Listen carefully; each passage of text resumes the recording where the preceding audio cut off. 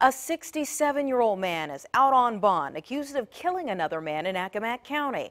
Deputies say this happened in New Church earlier this month. 10 on your side's Liz Kilmer tracked down the suspect and has the latest on this developing story tonight. And Anita, we've learned that this was a domestic situation. Today, I spoke with a family member of the victim and the suspect, understandably too upset to comment on this tragedy. A rural, quiet road on the eastern shore became the scene of a murder. April 1st, around 5.30 in the morning, deputies were sent to Silverthorne Road, discovering a man dead. Authorities say 44-year-old Patrick Westcott was shot to death during a dispute inside a home on the road. 67-year-old Lonnie Medlin is charged with second-degree murder.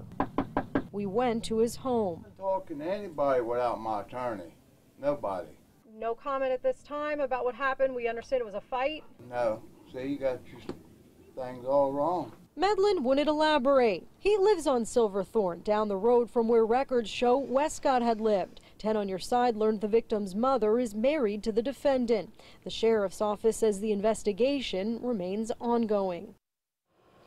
Medlin is also charged with use of a firearm in commission of second degree murder. He was released after posting a $5,000 secured bond. Reporting in Accomack County, I'm Liz Kilmer, 10 on your side.